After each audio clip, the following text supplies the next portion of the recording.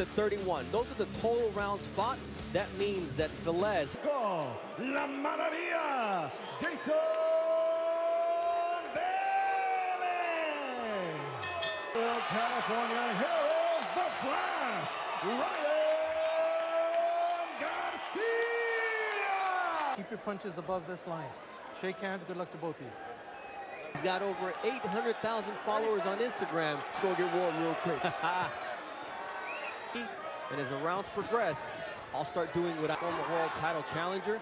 He said, I'll make my adjustment. rounds is going to be a really a, a round of who going to dictate set up a position where they can go ahead and take Deep. I want him to think. And Ryan Garcia's. that aggressive and veteran move. He wants to start at the two. You look at the back of Ryan Garcia, options from Ryan Garcia. Now he's got to make it not finished as a true prospect. And then I can once again because he's coming back with something. If he misses and he don't protect himself and just in the right distance to get a punch off, whether it's a right hand Old boxing adage.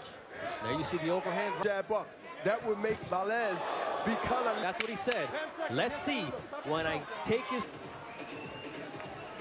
Ready for round. Pro career's got six first round knockouts out of the third. thing about Velez is he came to fight. He's got something. he came out in opponents before. Uh, up. Velez wants to ca- Well, he's got Frida Kahlo. The gear. This is where Jason Velez is, is really in a way of, of keeping him off him, which is not going to be a good thing. Henry Garcia, who's also his trainer. The other fighters, and that's something that you would like to see us. Ryan Garcia connects with a nice left. We might see Velez.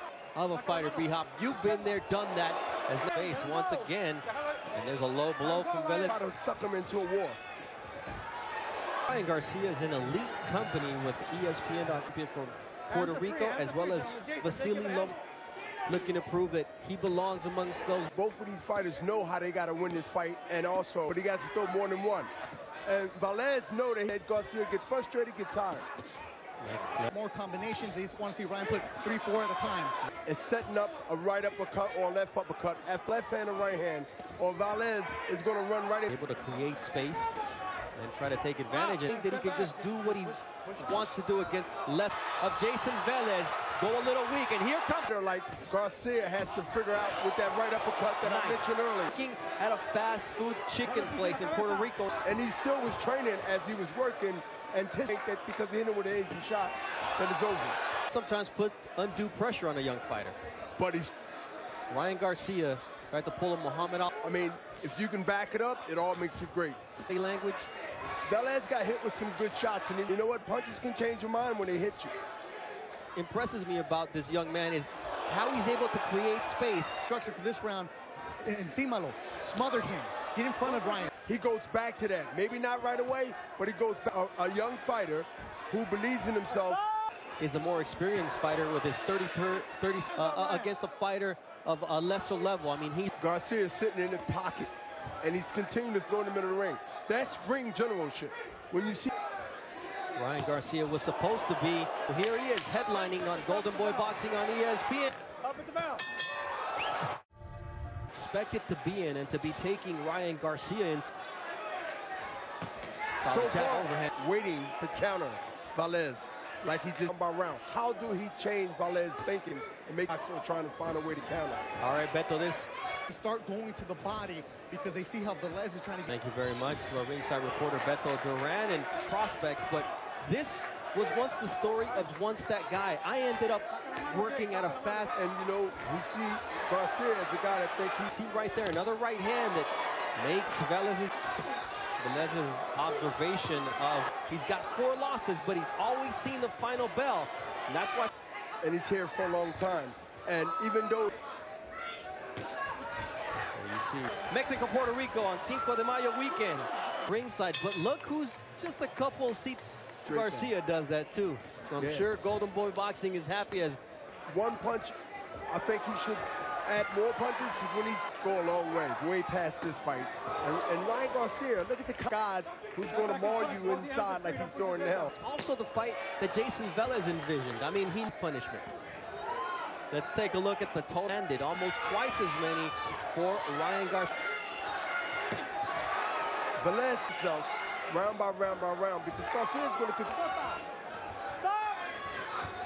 Nice uppercut as Velez tried to get aggressive. Ryan Garcia having to think things through here, and he lands on You get hit with 10 punches, and he takes that play away.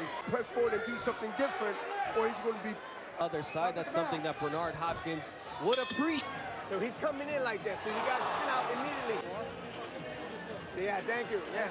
And then open up.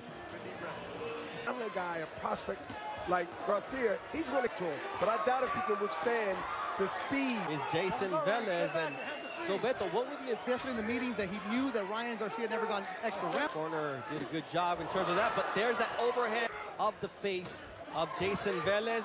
Pressure is just basically running into the throw punches as Velez walk in like he's doing now. Can do tonight. And nice left hook there. I make adjustments as the fight progresses.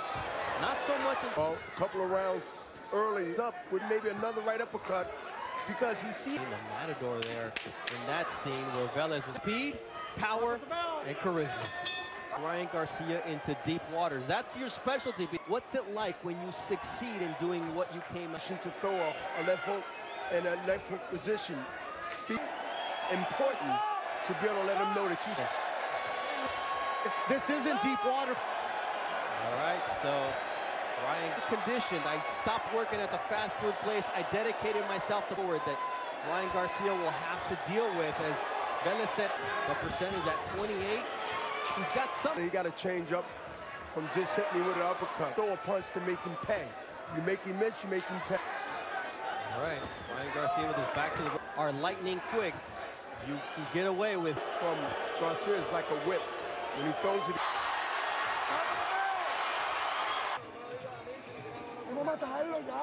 Have been into. Deep waters, that is. uh, but, you know, Garcia's handle points, but both guys, even Velez. But I'm, I'm really pleased at Garcia. Garcia is aware what he's doing. Coming forward, rushing to the corner, and just let all his hands go like he tried to do. Moving laterally, trying to get a little fancy here. Stylistic boxing, they want a war. Give Ryan Garcia rounds, experience. You know, he's not as talented. All is in for a fight this evening. what I like about Velez, Ryan Garcia. never took a step back and get frustrated, and that's why. Oh, big right hand from Ryan Garcia. To Henry Garcia, his father's instruction. They're happy with what they're seeing, but there's no deals, no life jacket, no floaties. This is coming to you from the StubHub Center in Carson. The Prospect put in a workman-like must protect himself, and one shot could have changed everything. You know, young, don't know, backs his hand, put his hands down, back. because this is a tough fight. I know what I have to do. StubHub Center, wearing overalls, and when I went into the locker room, At this stage of his young career, that he's type of fight, B-Hop, that I think that you've got power, but I can take your shots. that we've seen knock other guys out or down. It's an impressive performance nonetheless from Ryan Garcia, where he really gets to prove who he is. Ryan Garcia, a true believer. If I was in his weight division, The businessman, Bernard Hopkins, as this fight cuts his performance here at the StubHub Center. But you have his punches just over 500 thrown, 150. Ryan